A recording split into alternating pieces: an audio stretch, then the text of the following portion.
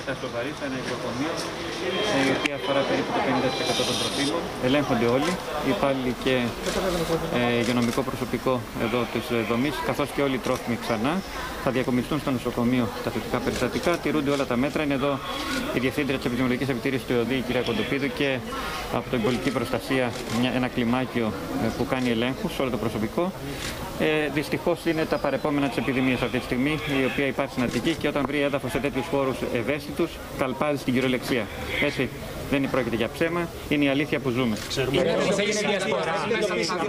Η διασπορά σε, σε, χώρους, η διασπορά σε τέτοιους χώρους που δεν δέχονται επισκεπτήριο συνήθως γίνεται από το προσωπικό. Είναι επικίνδυνη η κατάσταση μέσα με του ανθρώπους. Υπάρχουν άνθρωποι που πάντα, σε, πάντα σε τέτοιου χώρους υπάρχουν άνθρωποι με σοβαρά υποκείμενα νοσήματα. Οι περισσότεροι από αυτούς, το 80% είναι κατακεκλημένοι. Καταλαβαίνετε λοιπόν ότι είναι μια κατάσταση που δεν θέλουμε να την ξαναδούμε και δυστυχώς συνεχίζουμε να την βλέπουμε. Στη Θεσσαλονίκη το μάθημα το πήρανε.